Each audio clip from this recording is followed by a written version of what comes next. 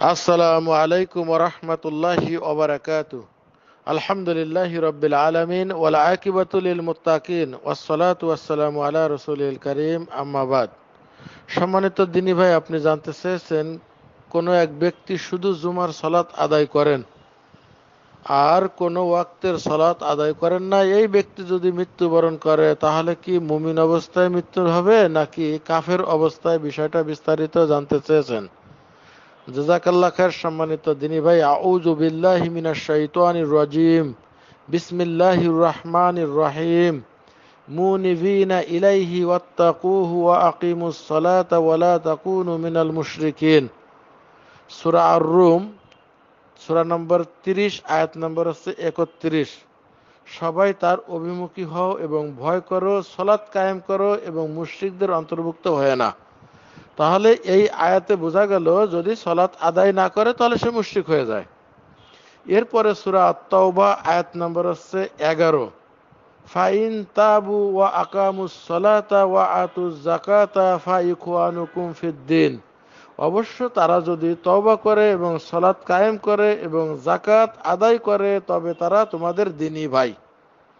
তাহলে এই আয়াত আমরা বুঝতে পারলাম যে আল্লাহ সুবাহান বলেছে, যদি সলাৎ কায়েম না করে, তাহলে সে মুশিক হয়ে যায়।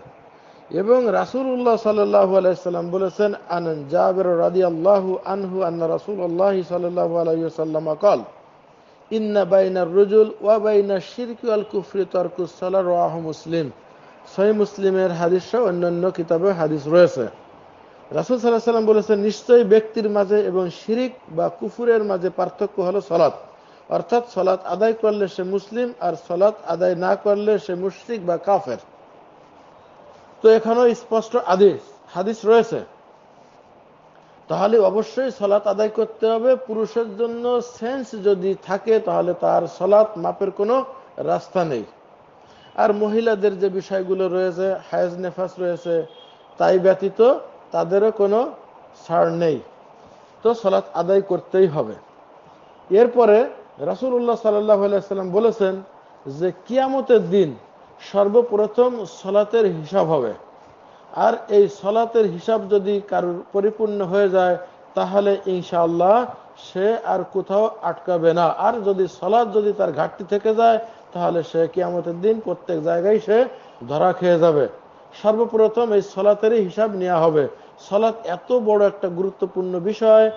কেউ যদি ইমান আনে ইমান আনার পরে তার সর্বপ্রথম আল্লাহ সুবাহানতলার নৈকট্য লাভ করার জন্য সর্বশ্রেষ্ঠ ইবাদত হচ্ছে সলাৎ তো এই জন্যই সর্বপ্রথম কিয়ামতের দিনে সলাৎ এর হিসাব হবে। এই হাদিসটি রয়েছে, ইবনে মাজায় রয়েছে এবং তিরমিজিতে রয়েছে, হাদিস নাম্বার চারশো তেরো এবং ইবনে মাজা হাদিস নাম্বার চোদ্দশো পঁচিশ এবং চোদ্দশো ছাব্বিশ নাম্বার হাদিস। এরপরে কোরআন করিমে আল্লাহ সুবাহ বলেছেন সুরা নাম্বার হচ্ছে চুয়াত্তর, আয়াত নাম্বার হচ্ছে বিয়াল্লিশ এবং তেতাল্লিশ। এই সলাদ যদি আদায় না করে, তাহলে ওই ব্যক্তিকে কিয়ামতের মাঠে সাকার জাহান নামে তাকে টেনে হিসেবে নিয়ে যাওয়া হবে। তারপরে যারা বিশেষ করে জান্নাতি, তারা তাদেরকে হয়তো প্রশ্ন করবে, এরকম প্রশ্ন করবে যে, মা সালাকা কুমফি সাকার? তারা বলবে, তোমাদের কিসে জাহান নামে মানে নিক্ষেপ করতেছে সাকার জাহান্নাম? তখন সেই জাহান নামে যাদেরকে নিয়ে যাওয়া হবে, তাদের উত্তর আসবে কোয়ালুলাম নাকুমিনাল মুসাল্লিন। তারা বলবে, আমরা সলাৎ আদায় করতাম না। তাহলে এখানে আর কোন যে প্রশ্ন তাদের কাছে যখন বলা হবে, কিসে তোমাদের সাকার জাহান নামে নেওয়া হচ্ছে? তখন তাদের উত্তর একটাই যে, আমরা সলাৎ আদায় করতাম না। তাহলে যারা সলাৎ আদায় করে না, তাদের সরাসরি ডাইরেক্ট সাকার জাহান নামে তাদেরকে দেয়া হবে। এরপরে যদি তাদের যদি তাহিদ যদি সঠিক থাকে, অর্থাৎ শিরিক মুক্ত যদি তারা যদি থাকে, তারা একদিন না একদিন ইনশাল্লাহ জান্নাতে যেতে পারবে যদি তাদের ইমান থাকে, শিরিক মুক্ত থাকে। আর তাই যদি না থাকে, তাহলে তার জন্য শিরিক নিয়ে যদি মৃত্যুবরণ করে, তাহলে তার জন্য জান্নাতকে হারাম করে দেওয়া হয়েছে সুরা মায়দা, আয়াত নম্বর বাহাত্তর। এবং সুরা আন্নেসা, আয়াত নম্বর আটচল্লিশ এবং একশো ষোলো, আল্লাহ সুবাহ বলেছেন যে শিরিকের গুণা কখনো ক্ষমা হবে না।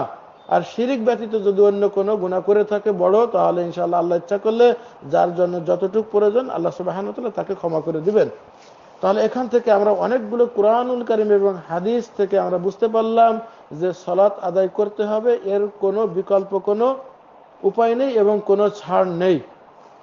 মুসলিমের জন্য সলাৎ আদায় করতেই হবে।